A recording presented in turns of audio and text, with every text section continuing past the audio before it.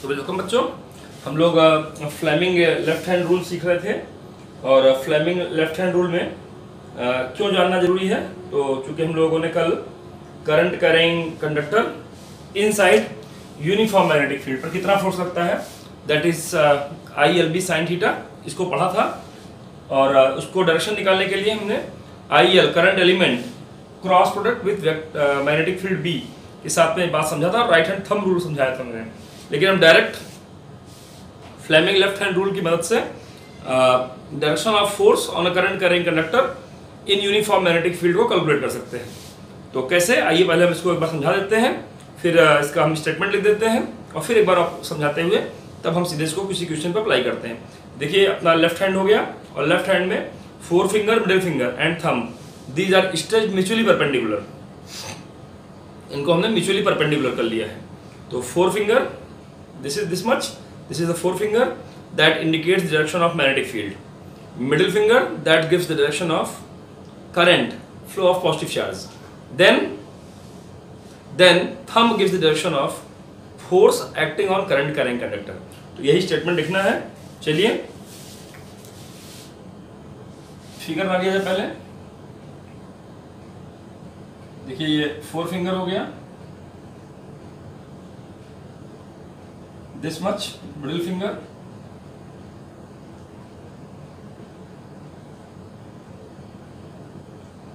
ये आपका थंब हो गया।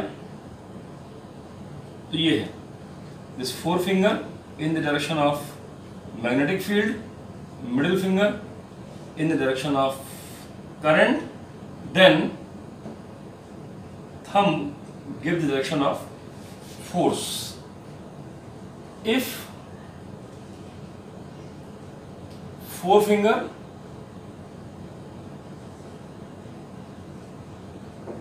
middle finger and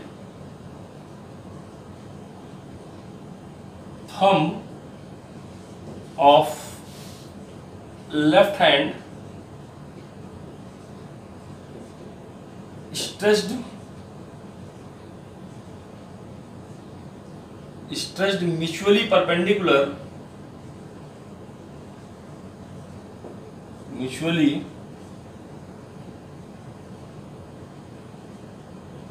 perpendicular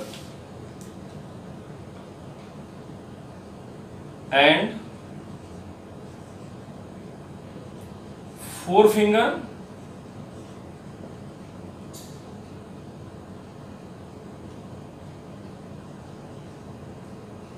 forefinger and middle finger.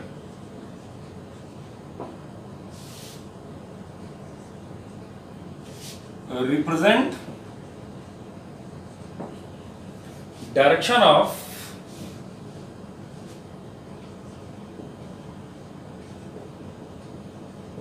direction of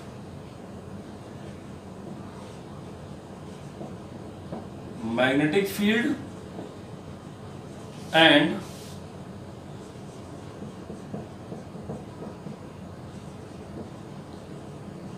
electric current then thumb represents the direction of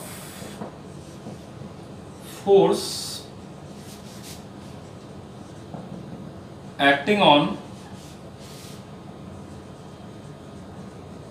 current carrying conductor.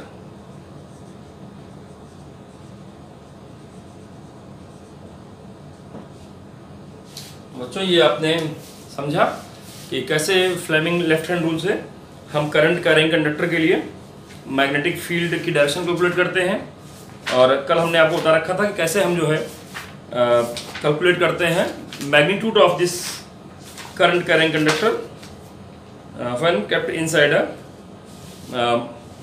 magnetic field तो चलिए, इस पर हम न्यूमेरिकल्स देखते हैं एक दो। एक दो न्यूमेरिकल्स देखेंगे तो बात ध्यान में आ जाएगी। और जहाँ जो दिक्कत आएगी, वो आप ज़रूर इंडिकेट करिएगा। आइए क्वेश्चन नंबर वो एक देखा जाए। क्वेश्चन नंबर एक। बुक का नाम है आपका एबीसी इस बुक का क्वेश्चन नंबर फ़र्स्ट हम हैंडल करते हैं। इसमें क्या कहा जा रहा है? State conductor carrying current 1.5 point given क्या है? ज़रूर लिखना चाहिए। I that is 1.5 ampere and in a two metre long ये जो लेंथ ऑफ़ अ कंडक्टर दिया हुआ that is two metre find the force on it when it is inclined at angle of 30 degree, number 2 perpendicular, number 3 parallel. To to the uniform magnetic field of B की value दी गई है magnetic field कितना दी गई भाई? Magnetic field की value two into ten power minus two tesla यहाँ निकालना क्या है? फोर्स निकालना है। तीन कंडीशंस दी गई है।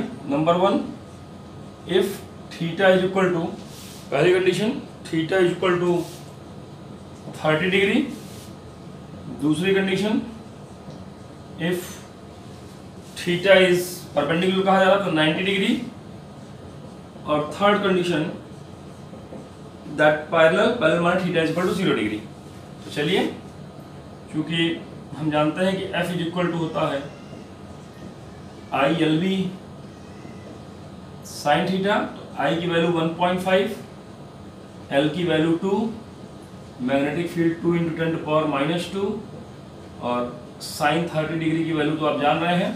वन बाई टू हो जाएगा। तो इस वन बाई टू से एक टू कैंसिल हो जाएगा तो one point five into two करेंगे तो थ्री आ जाएगा। Three into ten two power minus two newton, ये इसका मैग्नीट्यूड आ गया फोर्स का। उम्मीद है ये क्वेश्चन आपको अच्छे से समझ आ रहा होगा, कहीं कोई समस्या नहीं होगी। ऐसे ही F is equal to second part I L V sine theta फिर फार्मूला लगाएँगे। ये 1.5 लेंथ दो metre magnetic field two into ten power minus two और थीटा की वैल्यू कितना है? 90 डिग्री तो साइन 91 हो जाएगा।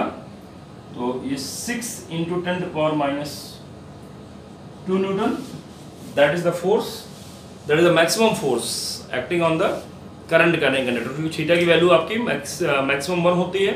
तो ये मैक्सिमम फोर्स की कंडीशन भी है कि theta is equal to 90 degree third case देखा जाए। क्योंकि एफ़ बराबर होता है आपका I L B sine theta तो जो भी हो आई की वैल्यू आपकी 1.5 एल की value 2 magnetic field 2 into ten power minus two लेकिन आपकी साइन ज़ीरो डिग्री आ गया, और ज़ीरो डिग्री की वैल्यू सीधे सीधे आपकी ज़ीरो आ जाती है। तो इसमें तो दिमाग लगाने की ज़रूरत ही नहीं है, सीधा सीधा आंसर है ज़ीरो डिग्री और ये बात आपको सामने आ गई होगी, कहीं कोई दिक्कत नहीं होगी।